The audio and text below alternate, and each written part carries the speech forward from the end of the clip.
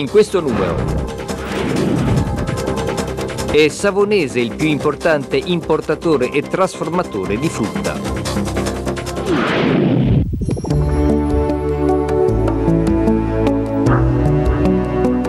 100 anni di storia, 100 anni di frutta secca. Correva l'anno 1908 quando alla Camera di Commercio di Savona viene iscritta la ditta individuale Benedetto Noverasco. La testa e il cuore è quello tutto ligure di questo giovane imprenditore di Albenga che insieme alla moglie Maetta sa guardare lontano. Agli albori del Novecento riesce a leggere i segni del progresso, dei nuovi mezzi di trasporto che aprono grandi prospettive al commercio e agli scambi internazionali. Con 2000 lire di capitale avvia un'impresa impresa destinata alla raccolta, alla confezione e allo smistamento dei prodotti ortofrutticoli tipici della piana in Gauna. La prima sede è quella di Via dei Mille ad Albenga. I contatti con l'estero portano in breve tempo anche all'importazione.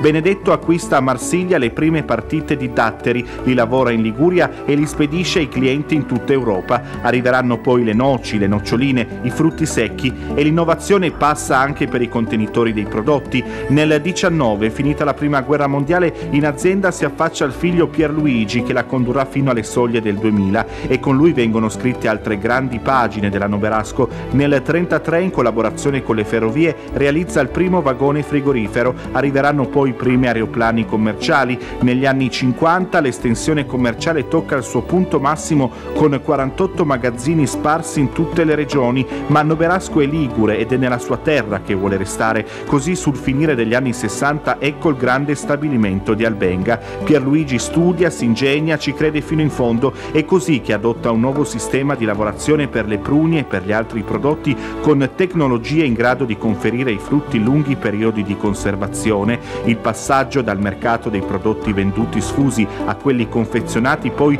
fa compiere un altro balzo in avanti all'azienda. C'è bisogno di espandersi, si crea uno stabilimento nel mezzogiorno che consente di seguire la catena del freddo, della surgelazione e della precottura. Nel 1988, in occasione degli 80 anni dell'azienda, Pierluigi Noberasco fa il punto della situazione. Oggi ho l'orgoglio di vedere realizzata un'azienda di importanza nazionale che è anche un vanto della nostra zona, della nostra città e soprattutto il mio capolavoro penso sia quello di aver potuto mantenere in collaborazione strettissima i miei quattro figli che lavorano tutti nell'azienda e che ne assicurano ehm, un continuo sviluppo nel domani, quando già si, si delinea la quarta generazione, figli di miei figli, i quali spero che continueranno anche oltre il centesimo anno di, di fondazione.